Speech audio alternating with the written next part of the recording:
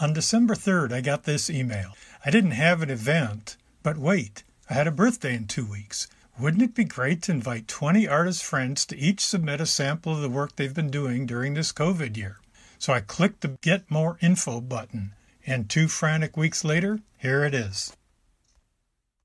Will there be a day we look back on 2020 and forget what it actually felt like? Some of us won't have that chance because others didn't believe there was a problem. We have it under control, they said. One day, like a miracle, it will disappear. Who's being patriotic now? The Akron Art Museum decided to tackle COVID by trying to connect people with postcards. They commissioned Cleveland artists Laura and Gary Dumm to create this postcard titled, Who Was That Masked Person? I want to thank them.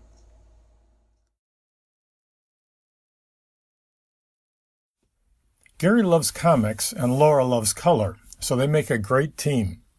Here they combine to create a simulated comic book cover as a fundraiser for Genghis Con, an independent comic book art convention that's held annually in Cleveland, but not in 2020. Artist Gene Henniger says, This year I was introduced to an enameling process for fused glass. After experimenting with colors and patterns, I started thinking of using the glass pieces the same way you might use patterned cloth or paper. This face is the first in what will hopefully become a series of faces, and who knows what else. Here's Gene's description of this clay mask. This mask surface was created using a wax resist on a 20% grog clay body. It produced a very textured effect. I hadn't thought about how much the grog would come to the surface when I started, but liked the results enough to use again.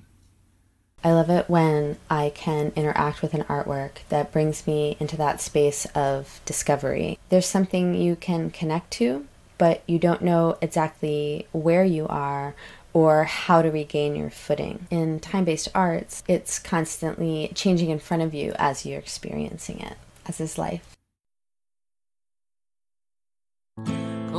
Stopped us in our tracks. There can be no turning back not going back to normal. Let's build back better, build back better.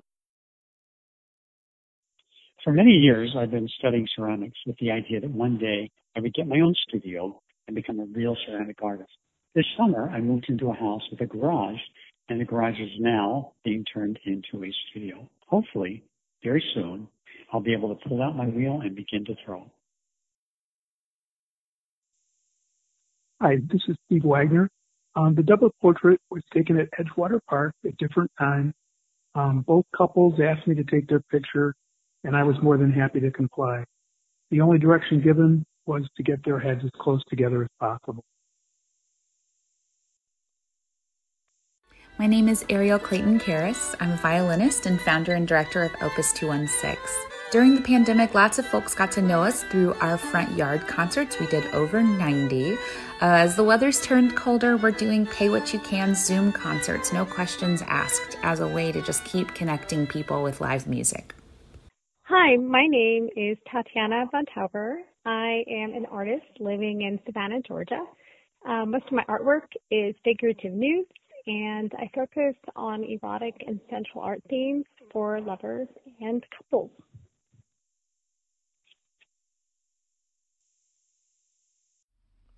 It's been nearly a year since my last photo shoot for my At Home in Their Own Skin project.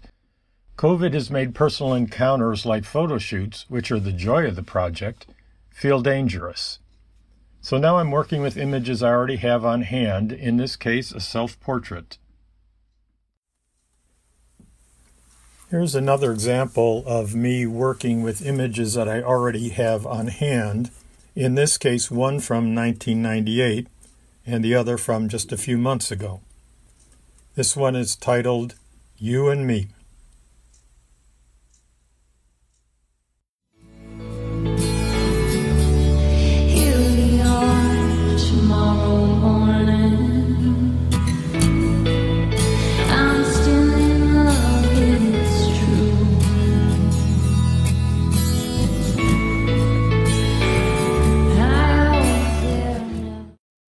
Artist Janet Dodrill. Since COVID, I have sketched with Urban Sketchers Cleveland and in online life drawing sessions around the globe. From theme sessions like Matisse, Rembrandt, Rocky Horror, and performance art to animal life drawing, and a healthcare worker's portrait project for Metro, and hashtag portraits for COVID heroes on Instagram.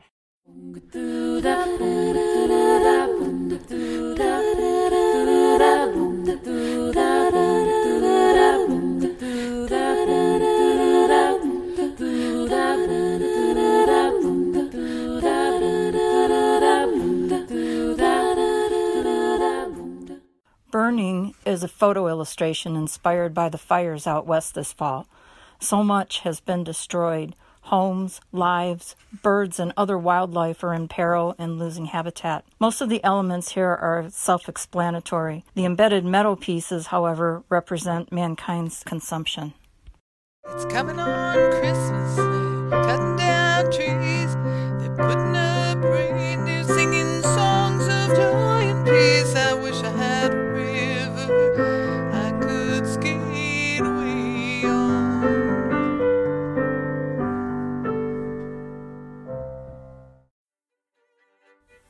I want to wrap things up today with something to put the year in perspective for me. It has been a magically difficult and gifted year. Magically difficult and gifted. It all depends on how we look at it.